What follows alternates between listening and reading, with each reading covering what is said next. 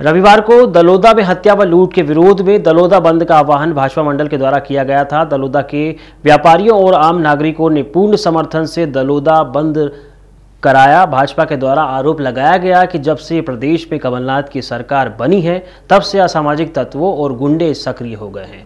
दलोदा में लगातार गुंडा तत्वों हावी होने से लेकर ब्लॉक कांग्रेस दलोदा के द्वारा भी एक ज्ञापन भाऊगढ़ थाने के एसआई सुरेंद्र सिंह सिसोदिया को दिया गया है। गौरतलब है कि लंबे समय से आपराधिक तत्वों के द्वारा दलोदा नगर की शांति फिजा बिगाड़ने को आतुर है। यहाँ एक ढाबे पर खाना बनाने वाले जोरावर सिंह राजपूत की मामूली बात पर तीन युवकों द्वारा हत्या कर दी गई थी। दलोदा नगर की फिजा शांत भी नहीं हुई थी कि सोने चांदी के व्यापारी विकास पाल को गोली मारकर छह लाख के सोने चांदी के जेवरात व नकदी लूट कर आरोपी फरार हो गए। हालाँकि पुलिस अभी तक आरोपियों तक नहीं पहुँच पाई। इधर जल्द ही आरोपियों को पकड़ने का दावा पुलिस कर रही है।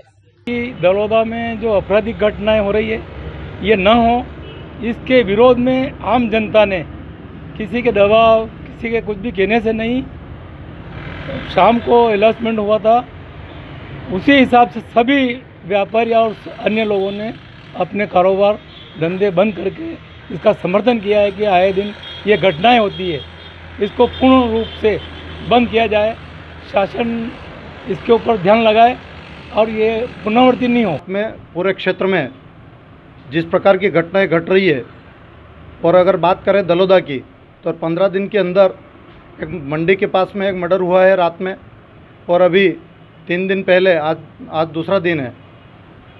एक सोना चांदी के व्यवसाय के साथ में छः से सात लाख की लूट, पैर में गोली मारकर, और ऐसे व्यापारियों के, व्यापारियों को बिल्कुल दहशत के माहौल में अपना व्यवसाय करना पड़ रहा है।